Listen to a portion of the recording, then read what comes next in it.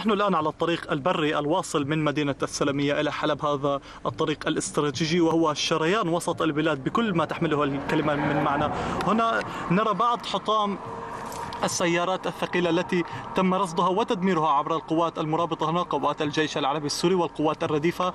هنا بعض الأدوية بقايا الأدوية وبقايا مشفى ميداني. في العمق مباشرة نستطيع أن نرى هنالك صهريج تم تدميره بالكامل. كان يحمل المازوت والمواد المحروقات في محاولات للوصول إلى الآليات الثقيلة الموجودة لدائر إرهابي داعش والتي يتم استهدافها في كل مرة يتم رصدها من قبل القوات المرابطة هنا. قبل الوصول بلحظات للنقطة المرجوة استهدف الطريق عبر قذائف الهاون الإرهابية مباشرة تم الرد بشكل استثنائي بعمق مصدر الاستهداف.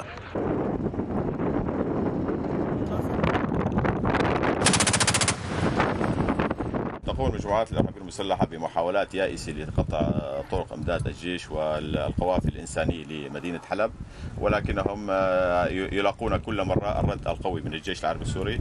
وفي هذه اللحظة تم استهداف مربط هاون كان يستهدف الطريق بعدة قذائف وتم تدميره على كامل طول الطريق البري الممتد من السلمية إلى حلب وصولا ومرورا بمناطق عديدة حيث شريان ضخ الحياة للمنطقة الشرقية تثبت بشكل مدروس قوات الجيش المرابطة حامية لطرفي الطريق من تنظيمين إرهابيين النصرة وداعش على يسار حدود إدلب الإدارية ويمين امتداد البادية السورية.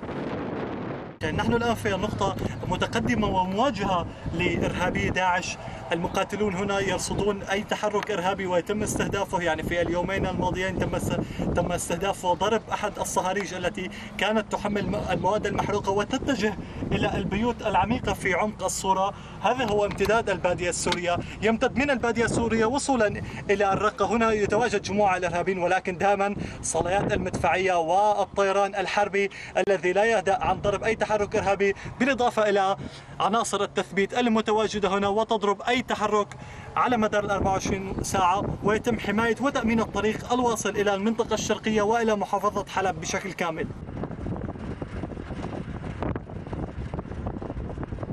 هون عناصر الجيش العربي السوري مرابطين على طريق آه، سلمية أسرية وعم نحاول قد ما فينا نمنع تقدم المسلحين أو محاولاتهم لقطع الطريق والحمد لله يعني قوة الجيش ومساعدة وحركة العناصر كله الحمد لله تمام وما عم يحسبوا المسلحين يقربوا الطريق ابدا. خمس سنين انت ناوبت فصائل إرهابية عديدة على محاولات قطع الطريق والتهريب عبره إلا أن فشلهم يستمر بفضل القوات التي اعتادت التثبيت والرصد في جبهات مفتوحة والتي أكد لنا قائدها أن التعاون بين الفصائل الإرهابية حاضر ونتائجه موجودة بالمئات.